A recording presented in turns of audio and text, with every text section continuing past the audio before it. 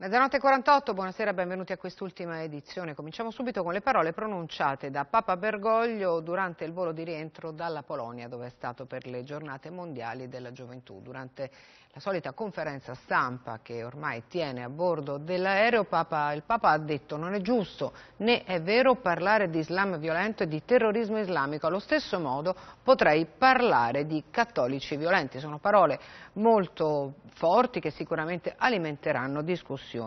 Continuando a, a, sentire che cosa ha detto il Papa, in ogni religione ci sono gruppetti fondamentalisti. Lo Stato che si definisce islamico ci si presenta con una carta di identità violenta, ma non è Islam.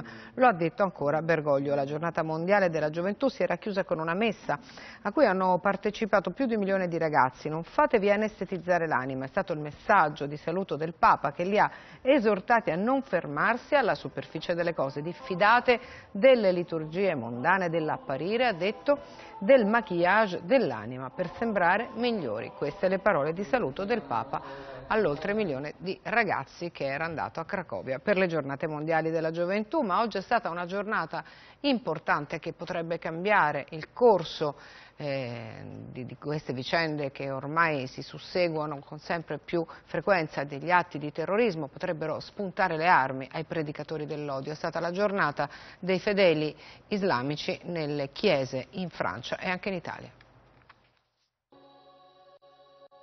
Croce e Corano, la preghiera dell'imam e l'omelia del parroco. È la domenica che, almeno nel suo intento, deve celebrare l'unità di cattolici e musulmani contro il terrorismo dell'ISIS dopo l'assassinio in chiesa del vecchio sacerdote padre Jacques Amal a Saint-Étienne-du-Rouvray. È cominciato tutto dalla Francia, dopo che il presidente del Consiglio religioso islamico della Normandia, Mohamed Karabilà, ha dichiarato di voler negare la sepoltura a uno dei due terroristi. È molto importante e necessario essere qui fisicamente, dice in chiesa Karabilà. L'arcivescovo di Rouen spiega di essere commosso. Siamo molto toccati dalla loro presenza, avverte Monsignor Dominique de Brun. Nella chiesa di Santa Maria in Trastevere a Roma dal pulpito risuona la preghiera dell'imam della Magliana. La comunità musulmana in Italia ha seguito l'esempio della Francia. L'imam della moschea di Centocelle prende la parola e spiega che solo uniti si può sconfiggere il terrorismo. L'attentato è stato fatto purtroppo gridando Allahu Akbar.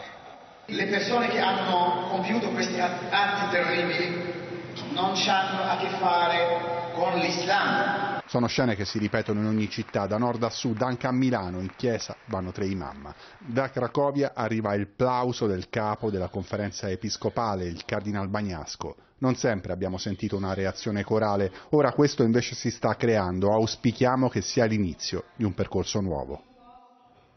E a proposito di questo ultimo barbaro omicidio c'è una novità da un punto di vista giudiziario perché Farid K il cugino di Abdel Malik Petit Jean è stato incriminato per partecipazione all'attacco alla parrocchia di Saint-Étienne. Secondo gli inquirenti francesi il ragazzo era a conoscenza del progetto di un'azione violenta imminente in preparazione da parte del cugino. Adesso ci occupiamo di quello che sta succedendo a Hillary Clinton, al Partito Democratico, agli atti di hackeraggio delle mail del comitato del Partito Democratico. Clinton si è scagliata con forza contro i servizi segreti russi che secondo lei sarebbero dietro queste azioni, ha indirettamente accusato anche Putin di essere a conoscenza di questi tre tentativi, di, di questi tre eh, atti di hackeraggio e ha accusato anche Trump per aver sostenuto Putin proprio in queste azioni. Vediamo.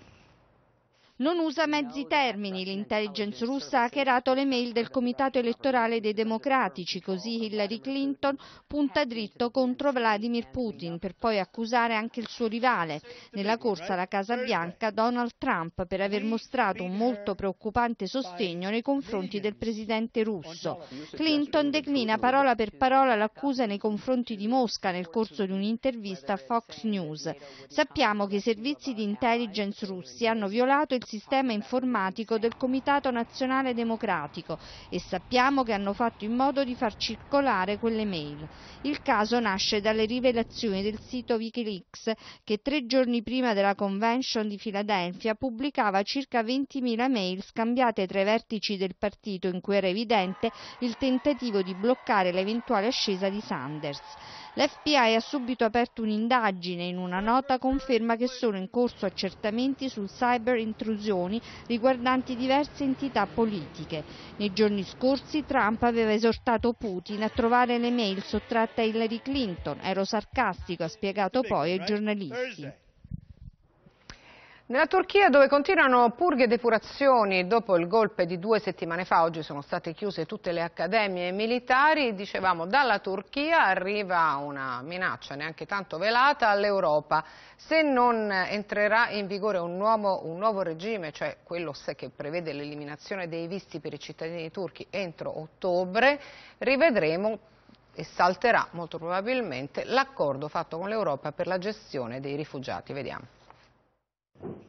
Se i cittadini turchi non saranno esentati dal visto per entrare nell'Unione Europea, la Turchia non riconoscerà più la Convenzione con Bruxelles sui rifugiati.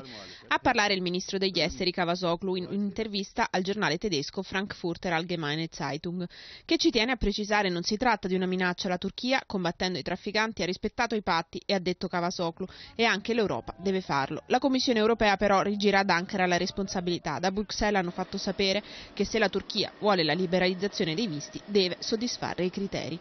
La dichiarazione di Cavasoglu al quotidiano tedesco arriva proprio nel giorno in cui sempre in Germania, a Colonia, 30.000 turchi sono scesi in piazza per manifestare in favore di Erdogan e contro il fallito golpe del 15 luglio.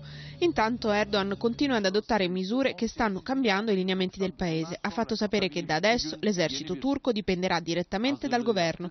Grazie ai poteri speciali che lo stato di emergenza assegna all'esecutivo è stato possibile chiudere le accademie militari ed espellere altri 1389 soldati sospettati di aver partecipato al fallito golpe. Insomma, quell'esercito da tutti definito come custode della laicità dello Stato adesso sarà un appendice dell'esecutivo.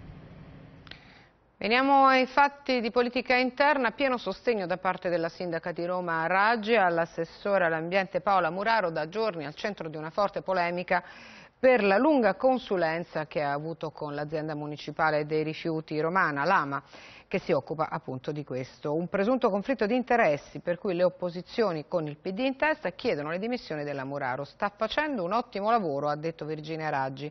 L'AMA è stata appannaggio di PD e PDL per anni. Oggi vengono a fare polemiche e questo fa un po' sorridere. La sindaca ha detto poi che l'emergenza rifiuti, sull'emergenza rifiuti sicuramente riferirà in comune. E adesso ci occupiamo del mondiale di Formula 1, sempre più nel segno di Lewis Hamilton, alla quarta vittoria consecutiva. Giornata da dimenticare invece per il rivale Rosberg, quarto il campione del mondo, ha vinto il Gran Premio di Germania grazie ad una partenza perfetta.